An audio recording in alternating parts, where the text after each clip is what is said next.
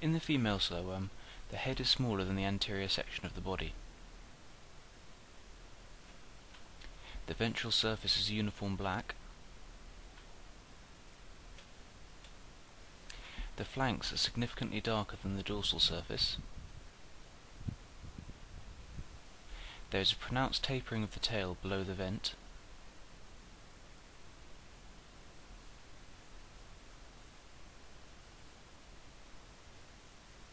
And there is a distinct dorsal stripe.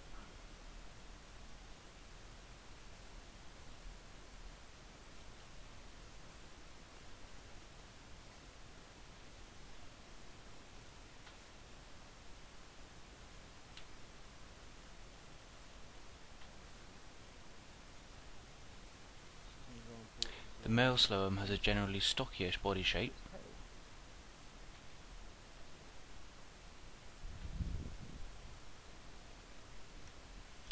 This individual has at some stage lost its tail, a defense mechanism of the slowworm.